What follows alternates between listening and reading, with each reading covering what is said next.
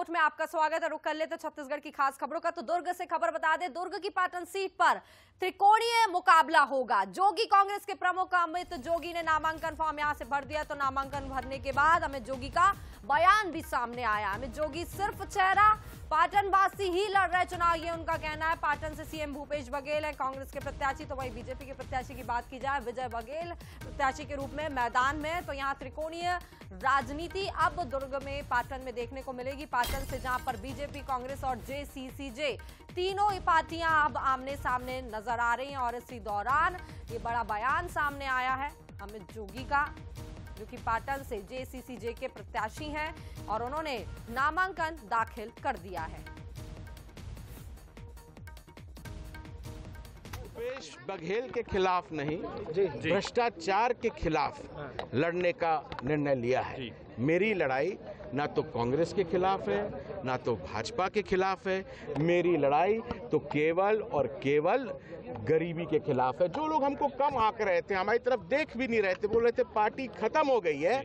पिछले 55 दिनों में जो माहौल बना है पूरे छत्तीसगढ़ में, पाटन से लेकर पटनम तक जो माहौल बना है, सबको समझ में आ रहा है कि पार्टी तो अभी शुरू हुई है। जो लोग ये सोचते थे कि जोगी जी मर गए हैं वो आज देख रहे हैं कि सवा तीन करोड़ छत्तीसगढ़ के लोगों में आज भी अजीत जोगी जी ज़िंदा हैं। चलिए इसी खबर पर ज़्यादा बातचीत करेंगे। दुर्ग से कुलेश्वर हमारे साथ जुड़ गए कुलेश्वर, यहाँ से नामांकन फॉर्म तो भरने की प्रक्रिया लगातार जारी है। बात करें बीजेपी, कांग्रेस और जेसीजी तीनों के प्रत्याशी ने नामांकन फॉर्म भर दिया है।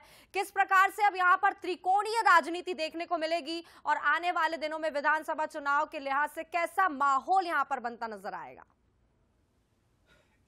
देखिए बिल्कुल पाटन सीट वैसे भी काफ़ी। वीआईपी हो गया है क्योंकि एक तरफ़ अगर हम बात करें तो सांसद विजय बघेल बीजेपी से और कांग्रेस से मुख्यमंत्री भूपेश बघेल और अब जोगी कांग्रेस के जो अध्यक्ष है अमित जोगी उन्होंने भी पाटन से नामांकन दाखिल कर दिया निश्चित तौर पर सीट जो है अब कहीं ना कहीं त्रिकोणी मुकाबले जैसा नज़र आएगा देखिए जोगी कांग्रेस का जनाधार जो खत्म होने की बात करते हैं हमने देखा था कि जो कांग्रेस के विधायक नाराज़ थे वो जोगी कांग्रेस में चले गए। उन्होंने बीजेपी पर विश्वास नहीं किया सीधा जनता कांग्रेस जोगी का दामन थामा।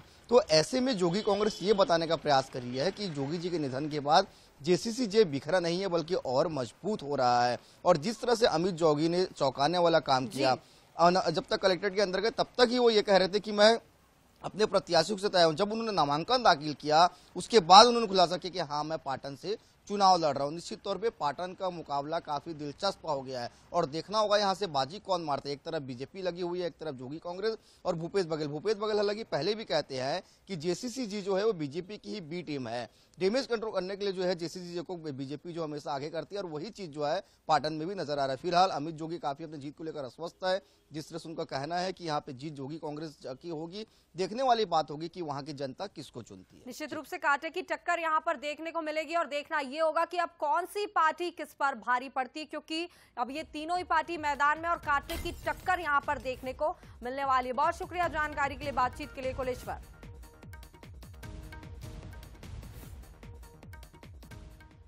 और चलिए